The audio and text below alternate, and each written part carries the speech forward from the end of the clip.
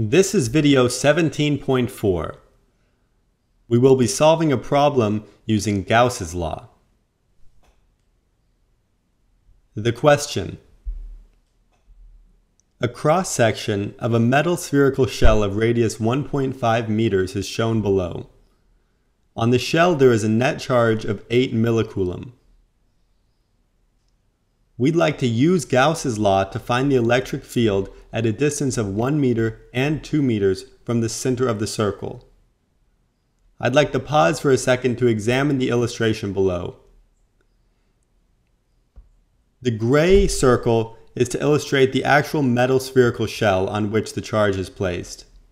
The inner green circle is to show the sphere at 1 meter at which we'd like to find the electric field and the outer green circle is to show the sphere uh, of radius 2 meters at which we'd like to find the electric field. The blue arrows simply point to the radii of the various spheres, and the red arrows are there to illustrate the electric field which is pointing radially outward from the spherical shell of charge. Step 1 will be to find the electric field 1 meters from the center. However, the electric field inside a conductor is always zero. It doesn't matter if the conductor is hollow or not, it doesn't matter what shape the conductor is, the electric field inside a conductor is always zero. So at one meter from the center, the electric field is zero. The step two will be to find the electric field two meters from the center. To do this, we'll need to use Gauss's law. There are a number of equivalent ways of stating Gauss's law. I will use that the total electric flux, which I denote by phi sub E, is equal to the charge enclosed by the surface divided by epsilon naught, where epsilon naught is a fundamental parameter called the permittivity of free space. Here the electric flux is like the total electric field that passes through the spherical surface of radius 2 meters. As an analogy, we can think of a ring with air blowing through it. Somehow the total flux of the wind you might think of as being the wind speed multiplied by the area of the ring. So for a spherical distribution of charge, which we have, we have a spherical shell, the total electric flux is equal to 4 pi r squared times the electric field on the sphere. This comes from the fact that the radius of a sphere is, or the, sorry, the surface area of a sphere is 4 pi r squared. And then we multiply that by the electric field. In our analogy with wind passing through a ring, we have the wind speed, which is like the electric field, and then the total area of the ring that the wind is passing through. Now this is only true on the surface of a sphere.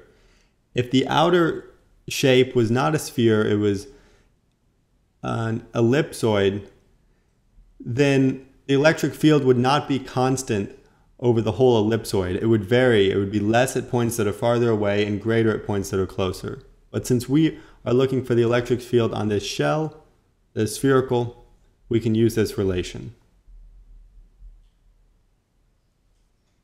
Step 2 continued. If we equate the two quantities from the previous slide, we have that 4 pi r squared times E on the sphere, which is our total electric flux, is equal to the charge enclosed divided by epsilon naught. This is just a statement of Gauss's law. We know that r is equal to 2 meters, because this is this sphere on which we wish to find the electric field. We know that q is equal to 8 millicoulomb, and the permittivity of free space is equal to 8.85 times 10 to the negative 12 farads per meter. Rearranging the above expression, we get this, and then plugging in the numbers from above, we come up with this. Evaluating this expression gives an electric field of 18 times 10 to the 6 volts per meter. Using Gauss's law made it very simple to find this answer. However, Gauss's law is only useful or is most useful when you're solving problems with a lot of symmetry. So in this case, we just had spherical shells, or also in cylinders, Gauss's law can be used. For more complicated geometries, it's not so as simple, but it may still prove to be useful. And that concludes video 17.4. Check out PhysicsX on the app stores. This revolutionary physics app for smartphones and tablets contains over 100 videos and 500 multiple choice questions designed by education experts. It's been proven to improve scores for intro college physics, AP physics, MCAT physics, and more. Just look for the blue icon.